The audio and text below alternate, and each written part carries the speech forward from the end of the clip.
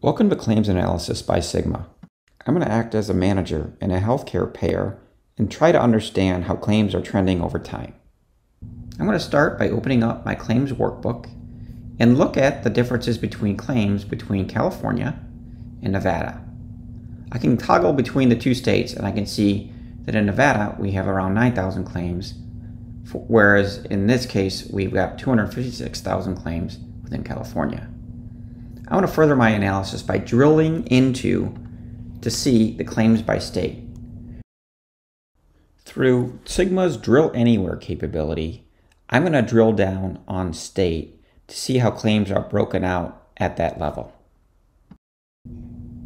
I can see that most of my claims are occurring within California. What I want to do now is do a comparison of year over year of claims between 2021 and 2020. I can simply change the date and bring in up to hundreds of millions of new claims and, uh, and change the visual to view claims side by side. I'll expand the visual. I will add in the new category, which will be my claim date. And it'll bring in every claim date within our my, my system.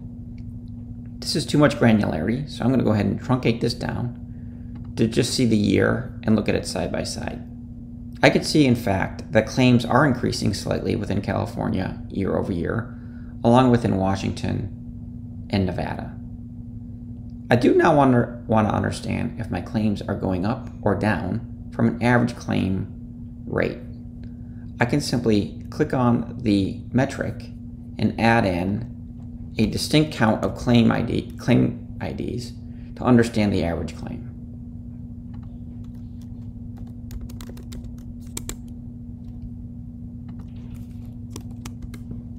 Directly within the visual, I can see now, side by side, the average claim between 2020 and 2021. And in this case, I can see claims in Nevada have increased dramatically in terms of the average year over year. I'm going to do further analysis by drilling in one more time using my drill anywhere capability to look at is this happening for a certain age group. I drill down and I can see most of my increase in claims is actually happening for my 56 and older age group. At this point, I want to hand this analysis off to my analyst to do further research. So I'm going to use my collaboration within Sigma, send this to my claims anal analyst, and have them do further research on my claims. The analyst can further the analysis in the existing workbook, or they may prefer to start with the raw data. I'll start by creating a new pivot table and recreate what my manager found. I'm going to start by creating the region on the rows and the claim date on the columns, along with the payer coverage terms of what was paid out for each claim. Again, I don't need all the granularity, so I'm going to go ahead and truncate this down to just year. And I'm going to add filtering to remove all but the last two years.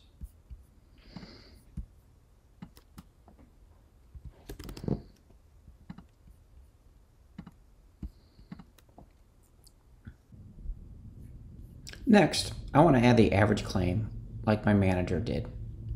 I'm going to add a new column directly within the pivot that takes the calculation of the total paid and divides, divides it by the total distinct count of claims.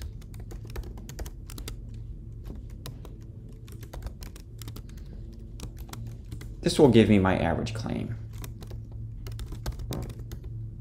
Now I can hide the payer coverage because I no longer need this column. And I'm going to add some formatting to better see how my claims are trending month, year over year.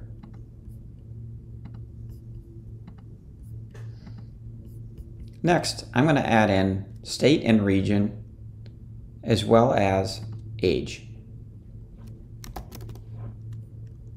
I can create any number of levels that I want because again, I'm leveraging the power of the cloud data warehouse to build this on the fly. I've added in state and I'm going to age group.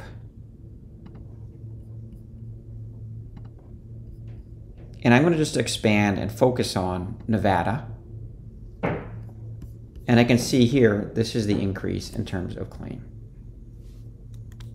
The 56 and older.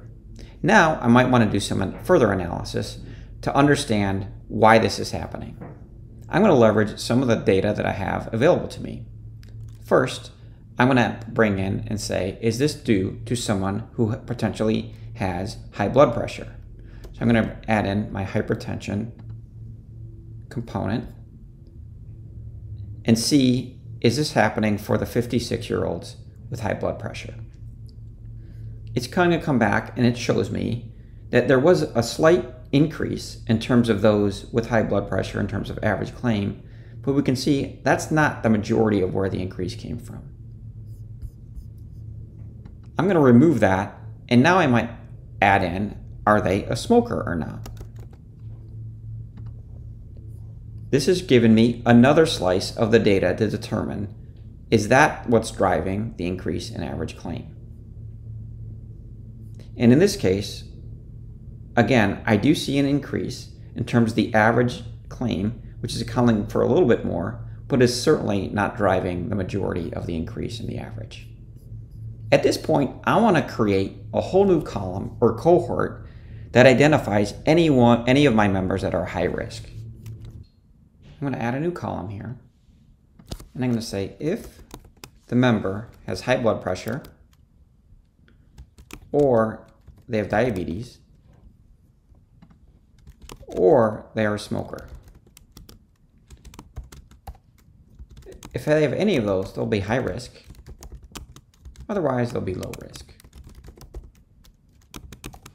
And I'm creating this new cohort or grouping or profile on the fly, leveraging the power of the Cloud Data Warehouse.